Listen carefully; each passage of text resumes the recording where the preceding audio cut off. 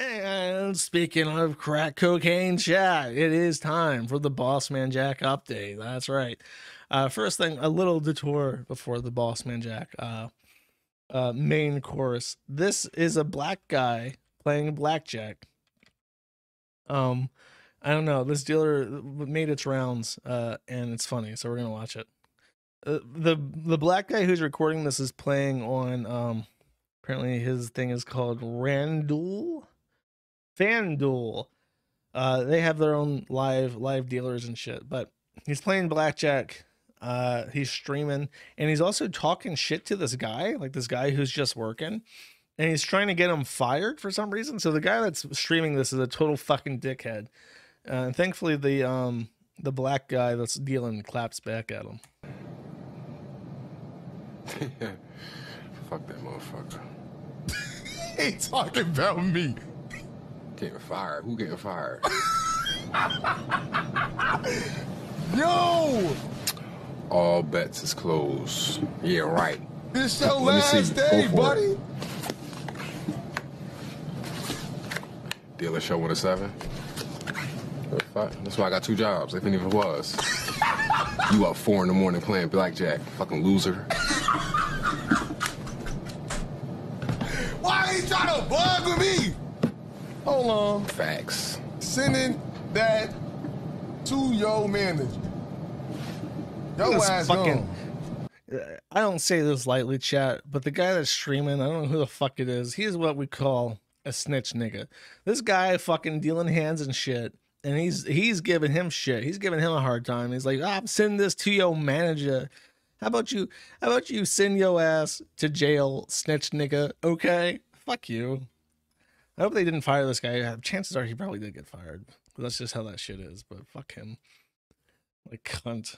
Anyone who anyone who harasses people in the service industry, be it blackjack dealers or waitresses or fast food employees or like janitors and shit, anyone who harasses service workers, I I strongly believe that we should routinely like for for small petty shit like uh like harassment or some or littering, we should like rigorously enforce um penalties that involve having to do service industry to to the standards of that job.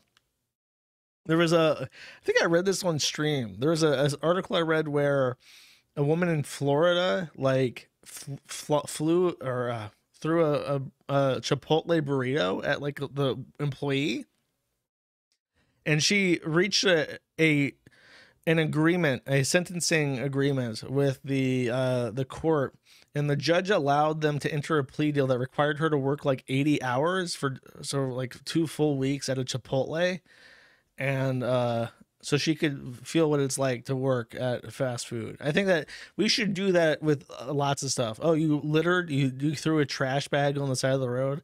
That's tw- that's that's 20 40 hours picking up trash on the highway. I think if you do that, people would have a greater appreciation for the menial tasks required to keep society clean and functional. This guy should be for if this fucking streamer was forced to play blackjack for a week, doing these these uh, eight hour shifts, just sitting there dealing cards all day, he would have a, a sudden appreciation for the people doing the work. That's what I think, John. However, let us not dilly dally. Um, our boy, Bossman Jack. Where's the video of this? I know there's a fucking video of this. Oh, here we go. No, this isn't it. He played it on stream like 8 million fucking times. How do they not have this? See, this one, he won't be losing in it. Yeah. Where is the video of him actually winning? Mm, I'll play this as a compensationary compensationary prize. Assuming it wants to load. It may not. Here, I'll ask the Kino chat. Lee. Oh wait, no, I forgot. I forgot. The reason why I don't have a video of this is because he didn't stream it. He um. He yeah he won he won like oh he won okay he won like twenty seven thousand dollars and it was like off a one thousand times hit on uh, a- a twenty four dollar plinko ball or something. And it's literally plinko. He's playing that carnival game where you like drop a uh, a a thing and it bounces down the middle and always lands on the sitter. Basically, he's playing that. Um, Oh my gosh! Oh my gosh! Oh my gosh! Oh my gosh!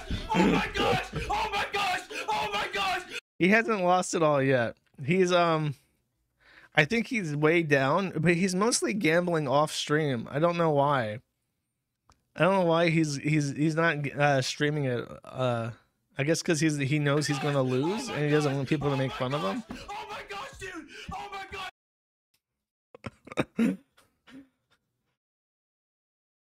I like it when he dances. It's funny. It's funny to me, chat. He's been looking at Honda Civics. He's gonna buy a Honda Civic finally. Or I mean, he's gonna lose it all, but he's he's really eyeing the Honda Civic. Oh, he. Oh, yeah. He got. Oh, oh, yeah. That's right. Okay, so the way it works is that there's a, a statutory limit, uh, federal limit in the United States for how much money he's allowed to deposit per day and he does this weird thing where he withdraws money because he's like, "Oh, I'm gonna cash out. I'm gonna take that money home. I'm gonna put that in the bank."